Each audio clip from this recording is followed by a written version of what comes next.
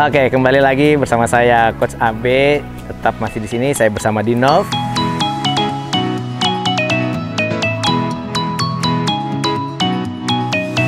Di DMV Stable. Nah, sebelum kita melakukan gimnastik, ada beberapa hal yang perlu kita bahas, yaitu gimana pemanasannya supaya kuda bisa bangun, terus pertolongan-pertolongan kuda apa aja yang dibutuhkan, dan ridernya uh, naik di atas kuda harus kayak gimana ya.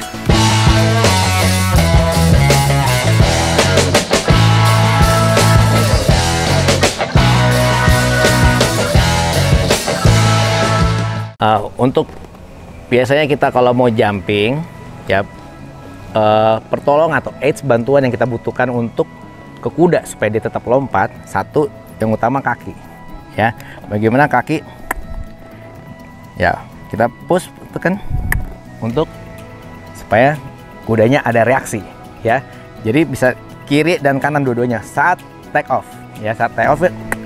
Jadi kaki ya seperti ini ya. Nah, posisi duduk di saat take off awal-awal kita harus sebelum masuk rintangan nah duduk seperti ini dulu ya.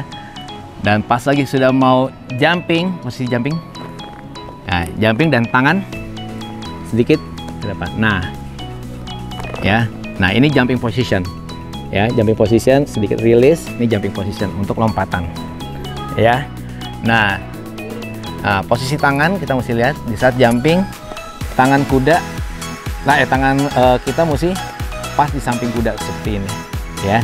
Jadi kuda jangan pas jumping kita tarik kuda full gini, jangan. Posisi gini supaya kudanya tetap luas untuk lompat, ya. Gini, jump up, point to point. Nah, ya, gitu. Oke, kak, boleh pemasan dulu dikit. Nanti pas jumping kakak bikin itu ya, light seat ya. Ya, jadi di sini kita bikin kudanya relax, relax mungkin. Makanya buat kudanya supaya uh, lehernya bisa turun ke bawah, kudanya relax, nggak nervous. Uh, jadi pakai menggunakan uh, rein luar, selalu pakai gunakan kaki dalam, ya. Ya kak, contact outside rein, more inside leg. Yes. Good. Ya, kita bisa lihat posisi kudanya relax ke bawah. Ya. Kuda nyaman, enak. More aktif aja, Kak. More sedikit aktif tapi relax ke bawah kayak gitu. Yap. Good. Good. Oke. Okay. Sekarang kita mau kasih lihat gimana apa namanya tuh duduk light seat atau uh, half seat ya. Uh, atau two point seat. Ya. Oke, okay, Kak. The point seat. Yes. Ya, kita bisa lihat pada saat canter ya. And more canter. Yes, more canter. Tangannya soft hands kayak gitu, soft. Bagus. Good. Bagus. Duduk lagi. And now flying change. Duduk, duduk, duduk, duduk.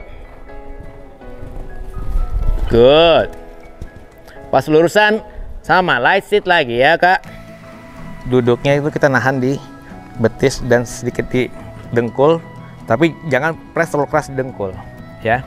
Benar pakai betis sama paha sini, dengkul rapat aja, ya.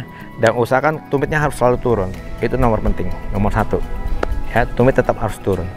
Ya, untuk kita memperkuat kaki kita uh, di saat kita mau lompat dan kita bisa lebih handle kuda lebih kuat lagi. Oke okay guys, kita udah lihat, udah sedikit pengetahuan soal light seat, terus gimana pertolongan kaki di atas kuda supaya kudanya untuk bisa lompat dan posisi uh, jumping seat ya. Jadi jumping position seperti itu. Oke, okay, nextnya kita akan lihat Dinov untuk lompat gimnastik.